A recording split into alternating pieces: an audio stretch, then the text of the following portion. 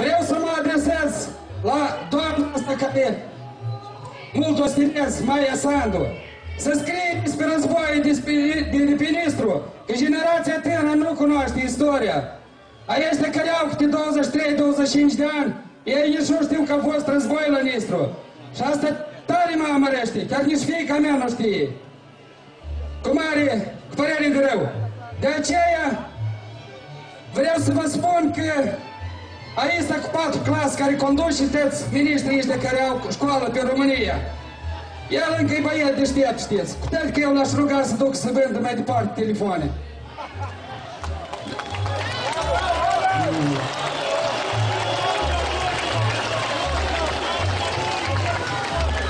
Vreau ca acest domn să citească până la 1 septembrie, să citească manualul nou,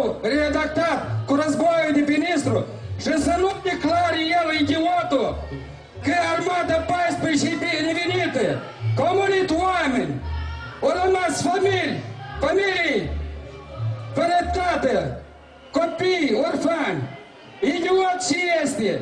Să-l chemăm aici în piață să răspundă în fața noastră, în fața poporului. Și să permite el, idiot și este. Domnilor,